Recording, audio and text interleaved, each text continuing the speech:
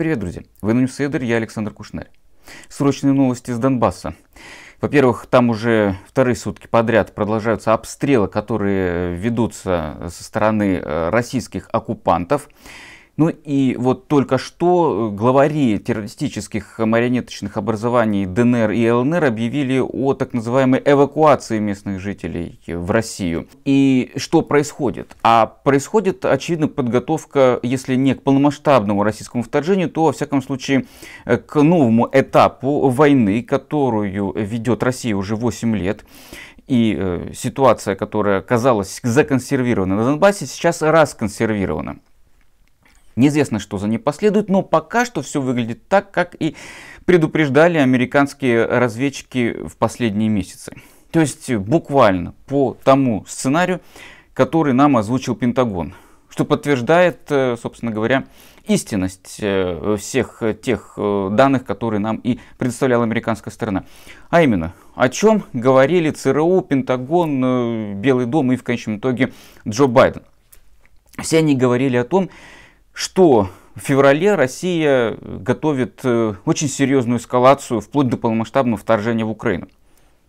Налицо именно этот факт прямо сейчас, потому что со вчерашнего дня, то есть буквально как раз вот в те дни, когда нам американская разведка и э, говорила, что начнется вот это самое наступление, происходит э, самая серьезная за все последние годы эскалация, когда боевики начали обстреливать десятки населенных пунктов в Украине. И далее. Что нам говорили, опять же, ЦРУ, Пентагон, Белый дом и Джо Байден лично? Они говорили о том, что Россия будет создавать э, повод для вторжения. А как выглядит этот повод? Как нам вчера и заявил госсекретарь США Энтони Блинкен, этот повод может выглядеть э, по-всякому. Это может быть и сфабрикованная химическая атака, это может быть и э, якобы удар с украинского беспилотника. Ну и в конечном итоге, как нам рассказывал тот же Пентагон не так давно, это может быть сфабрикованное видео, в котором якобы будут показаны жертвы украинской атаки. Э, и там, соответственно, будут играть э, актеры роли пострадавших и погибших. И вот это все будет использоваться э, как казус белли, то есть повод для того, чтобы Россия направил свои войска, якобы защитить э, вот то самое русскоязычное население э, на э, Донбассе, которое якобы стало жертвой украинской армии. Не, разумеется, пострадавшие и погибшие в кавычках от обстрелов украинской армии люди будут иметь российские паспорта. Тем более, что сейчас в ДНР и ЛНР таких людей действительно немало. Очень много тех, а практически, наверное, вообще все население оккупированных районов имеют э, российские паспорта, которые они получили как раз таки в последние несколько лет. То есть это операция, которая начала э, готовиться не сегодня, не вчера и даже не год назад. Эту операцию Кремль э, готовит уже как минимум на протяжении трех последних лет. И что мы видим? И этот момент, о котором нас э, предупреждала американская сторона, прямо сейчас реализуется. Я напомню, что накануне, когда луганские боевики обстреляли станицу Луганская и еще ряд населенных пунктов, в частности, несколько снарядов попали в детский сад и пострадали два сотрудника детского сада. К счастью, не пострадали дети, которые вместе с персоналом э, вот, этого детского сада укрылись в подвале. И что мы слышим от российской пропаганды? А она рассказывает нам о том, что это якобы украинские военные обстреляли детский сад.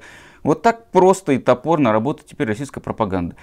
Просто-напросто боевики, э, которые управляются из Москвы, стреляют по заведениям, где находятся дети, а потом они просто рассказывают, что, оказывается, обстрел ведет украинская сторона. Чем не казус Белли? Как мы видим, ничего нового и как мы видим, даже ничего, я бы сказал, в кавычках, творческого здесь нету. Просто Москва и э, управляемые ею марионетки в ДНР и ЛНР обвиняют украинскую армию в том, в чем они сами и виноваты. И как мы видим, ради вот этих вот э, коварных планов они совершенно легко готовы принести в жертву детей.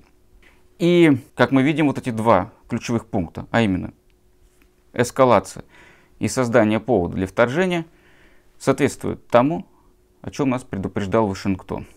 Между прочим, и премьер-министр Великобритании Борис Джонсон накануне сказал, что обстрел детского осада луганскими боевиками – это вот э, тот самый повод для вторжения, о котором столько говорилось. И вот все эти э, предупреждения, которые э, в последние недели и месяцы шли с американской стороны, оказались верными, это теперь факт, я думаю, он всем очевиден. Э, с одной стороны, конечно, это очень тревожно, потому что прямо сейчас ведут совершенно реальные боевые действия и э, совершенно реальной угрозе подвергается мирное население Донбасса. С другой стороны, что бы дальше ни последовало, надо понимать очень четко следующий момент.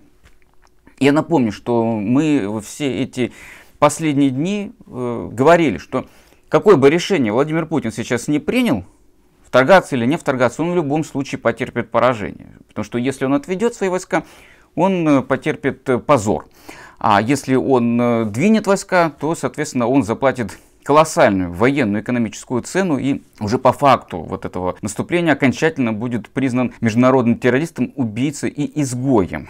Что же мы видим сейчас? Похоже, что Владимир Путин фактически выбирает все-таки второй вариант, то есть вести наступление по представлениям э, кремлевского руководства, вот э, такая вот эскалация руками исключительно луганских и донецких боевиков не должна привести э, к введению полномасштабных санкций. Но я хочу разочаровать российское руководство, потому что прямо сейчас мы видим, как одна за другой страны от Соединенных Штатов до Великобритании делают заявления с обвинением российского режима в агрессии. И понятно, что на Западе и в целом в цивилизованном мире ни у кого вообще нет никаких сомнений в том, кто сейчас агрессор. Об этом вчера четко заявила, в частности, посольство Соединенных Штатов в Киеве, когда написала, что именно Россия агрессор и именно она ответственна за обстрел детского сада. То же самое, как мы видим, сказал э, премьер-министр Борис Джонсон.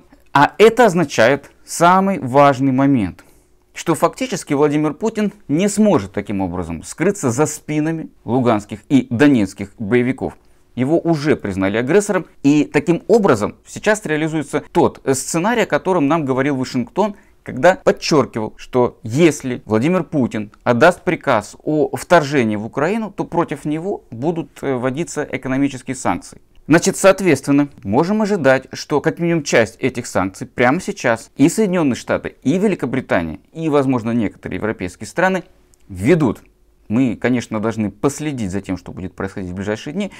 Но я полагаю, что еще несколько дней вот таких обстрелов, и я вас уверяю, что в Британии и в Соединенных Штатах, как минимум, начнутся очень серьезный разговор о том, чтобы начать вводить, ну, по крайней мере, точечные санкции, возможно, против некоторых олигархов. Поэтому я э, хочу предупредить Кремль, чтобы там не удивлялись, если очень скоро в той же Великобритании начнут арестовывать некоторые активы олигархов, которые связаны с Владимиром Путиным. А я напомню, что будет это делаться в соответствии с недавно принятым э, Британией новым законом о санкциях против России. В соответствии с новым законом Великобритании не придется доказывать э, прямую связь э, тех лиц, которые попадают под санкции, с покушением на суверенитет Украины.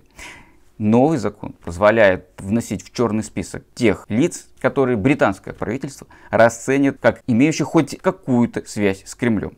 Таким образом, пусть тот же Роман Абрамович не удивляется, если вдруг э, его э, недвижимость или его право собственности, скажем, на тот же футбольный клуб Челси, окажется замороженным, а может быть даже его имущество будет конфисковано.